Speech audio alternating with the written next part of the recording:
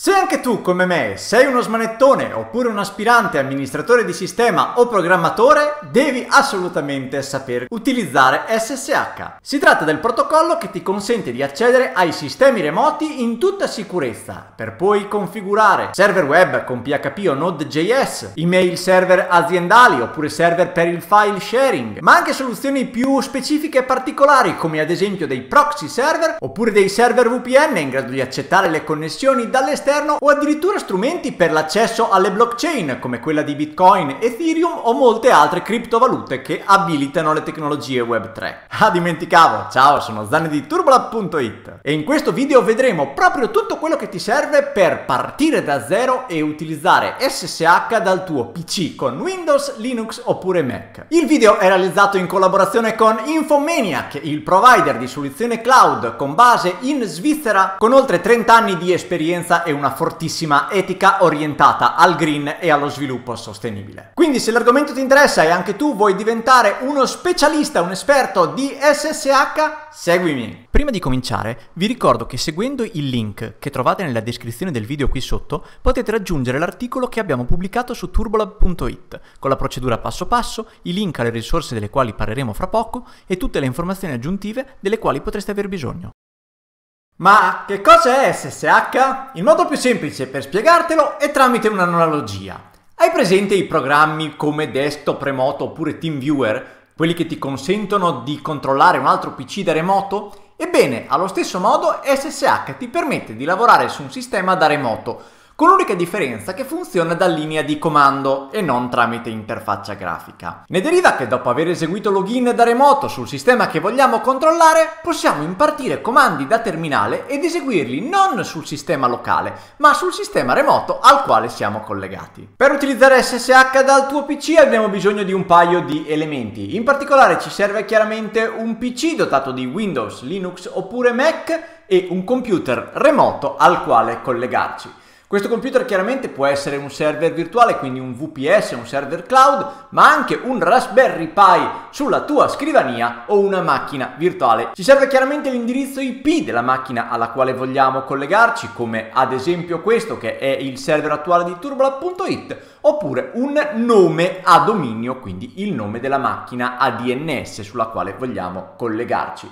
E chiaramente in ultimo abbiamo bisogno di un set di credenziali, ovvero ci serve uno username e la relativa password con le quali autenticarci sul sistema remoto che vogliamo controllare.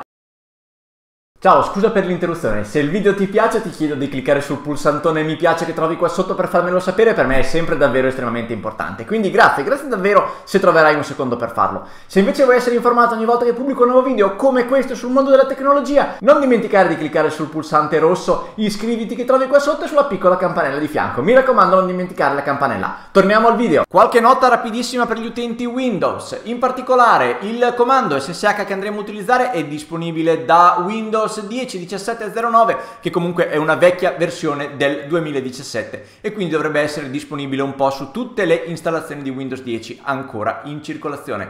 Per il resto tutte le build di Windows 11 integrano nativamente il comando SSH ma raccomando in ogni caso sia per gli utenti di Windows 10 che per gli utenti di Windows 11 di aggiornare SSH all'ultima versione seguendo appunto il link che ho lasciato qui nella guida. Quindi come abbiamo detto hai bisogno di un sistema al quale collegarti in SSH e per questo ci vengono in aiuto gli amici di Infomaniac che sono appunto lo sponsor del video di oggi. Appunto sono un provider come dicevamo con base in Svizzera, fortissima vocazione cloud che offre appunto una serie di servizi che perfettamente si sposano con il video e le tematiche di eh, questo tutorial. In particolare qui una volta essersi registrati, dopo essere entrati abbiamo la possibilità di eh, acquistare un nuovo VPS, quindi un server virtuale privato e appunto i prezzi sono veramente eccezionali perché per quanto riguarda il VPS Lite che va benissimo per fare delle prove per smanettare si parte appunto di 3 euro al mese che è un ottimo prezzo. Mentre in seguito quando appunto saremo pronti e potremmo deployare il nostro progetto in produzione potremo fare affidamento su un VPS cloud più completo a partire appunto da soli 29 euro al mese. Bene dunque abbiamo tutto quello che ci serve per connetterci al nostro server in SSH Quindi la sintassi generale del comando è quella che vedi qui a schermo. Quindi abbiamo chiaramente il comando SSH seguito dal nome utente che vogliamo utilizzare per l'autenticazione sul server remoto e lo ripeto bene perché questo è spesso fonte di confusione, il nome utente da inserire qui è quello che dobbiamo utilizzare sul server remoto, quindi deve esserci un account sul server remoto con il nome utente indicato qui. Noi mettiamo una chiocciola at seguita dal nome del server che vogliamo raggiungere oppure il suo indirizzo IP. Vediamo la procedura in pratica, quindi immaginiamo di essere in questa situazione. Quindi io ho creato un server che si chiama appunto test.turbla.it al quale vogliamo collegarci in SSH. Questo server ha appunto l'indirizzo IP che ho indicato qui, quindi potremo utilizzare eh, allo stesso modo il nome del server, quindi il nome a dominio oppure il suo indirizzo IP. Utilizzeremo poi il nome utente Zane sul server remoto per l'autenticazione e questa è la password del cavolo che ho impostato giusto per fare questa prova. Quindi abbiamo detto che vogliamo impartire il comando SSH seguito dal eh, nostro nome utente che deve essere appunto Zane. At dobbiamo a questo punto utilizzare o il nome a dominio oppure l'indirizzo IP. Io prendo il nome a dominio ma commetto un errore perché metto diverse T perché voglio farti vedere che cosa succede quando si sbaglia il nome del server al quale vogliamo connetterci. A questo punto eh, potrebbe essere necessario indicare esplicitamente la porta, quindi con il parametro meno "-p" seguito dal numero della porta. Ora di default SSH gira per impostazione predefinita sulla porta 22, quindi generalmente a meno che tu non abbia appunto delle indicazioni diverse, non è necessario indicare il numero di porta. Sappi però che se serve si indica con meno "-p" spazio e il numero della porta. Quindi proviamo a fare una connessione in questo modo e quello che ci viene risposto è che il nome a dominio non viene risolto proprio perché a DNS non è presente una entry, non c'è una riga con questo nome a dominio.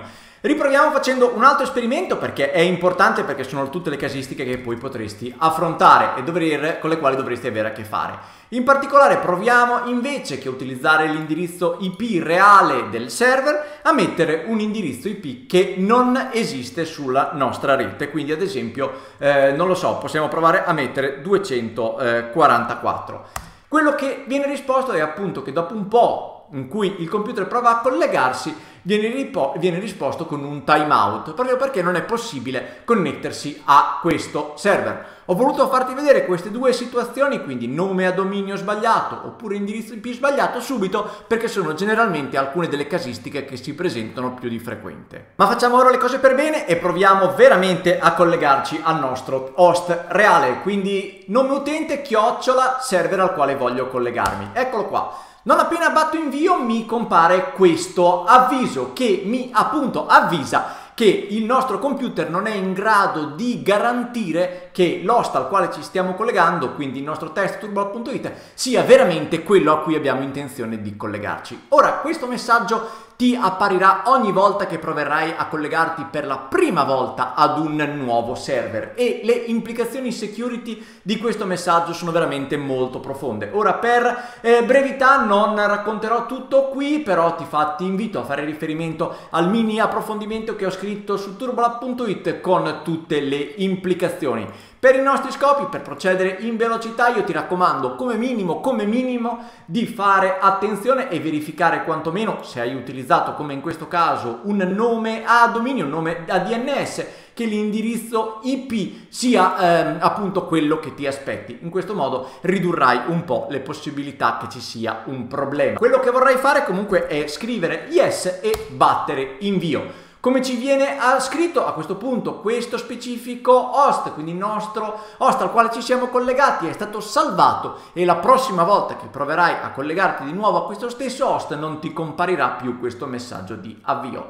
A questo punto siamo quasi pronti ad entrare, ci viene quindi richiesta la password da utilizzare appunto per eseguire login con questo account. Quindi la nostra password è qua, 1, 2, 3, 4, 5, 6, invio ed ecco che se tutto va bene, come è andato bene in questo momento, siamo riusciti ad entrare sul server remoto. A questo punto possiamo utilizzare tutti i comandi propri del sistema operativo al quale siamo connessi. Io ad esempio in questo caso sono connesso ad un sistema Ubuntu e quindi posso impartire ad esempio lsb release-a per vedere i dettagli del sistema operativo e scoprire così appunto che sono connesso a un sistema operativo Ubuntu 22.04 eh, appunto LTS. Nell'articolo su turbolab.it ti ho lasciato ancora un po' di comandi, quindi ls-la appunto per vedere la lista dei file, pvd per vedere in che percorso ci troviamo, quindi ad esempio se io impartisco pvd in questo momento ecco che mi dice che sono all'interno della mia cartella home appunto perché ho fatto login con l'utente Zane quando ho fatto appunto il login tramite SSH.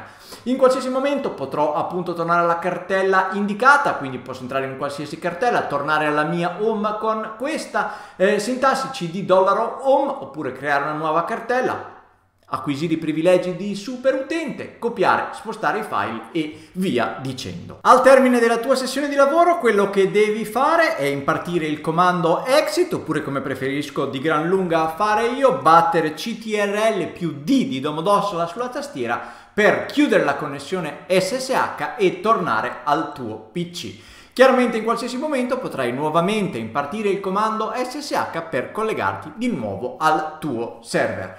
Ci sono ancora un paio di cosine molto interessanti che si possono fare con SSH. In particolare è possibile accedere tramite una chiave asimmetrica, una chiave di identificazione che è semplicissima da generare. Questo ti permette ad esempio di collegarti senza bisogno di digitare ogni volta la password. Qui su turbola.it appunto c'è l'approfondimento testuale con la guida passo passo per svolgere questa procedura.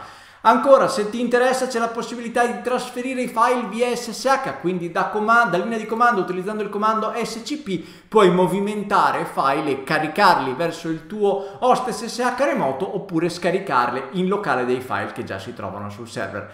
Per gli utenti avanzati c'è la possibilità di creare un tunnel SSH che ti permette appunto di instradare tutto il tuo traffico verso il server SSH e quindi uscire su internet passando dal tuo server SSH e qui di nuovo c'è la guida passo passo.